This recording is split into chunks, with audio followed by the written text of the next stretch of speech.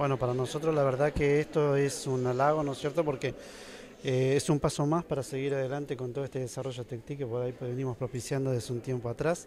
Este, y bueno, agradecerle profundamente al intendente eh, eh, Gustavo Bordet por la gestión realizada, él y todo su equipo a través de la dirección de producción y demás.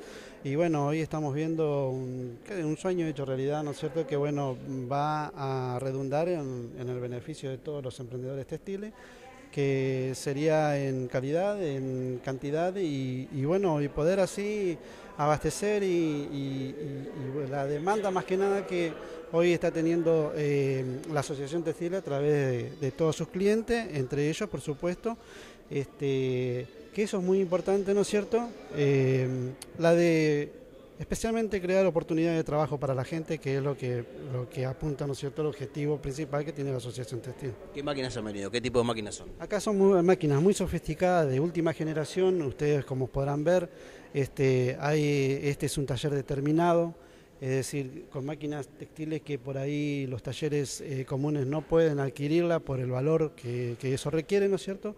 Este, acá se van a hacer terminaciones como jalado, eh, pegado de botones y demás, ¿no es cierto? Y contando con una bordadora de cuatro cabezales que en Concordia y creo que en Entre Ríos no la hay.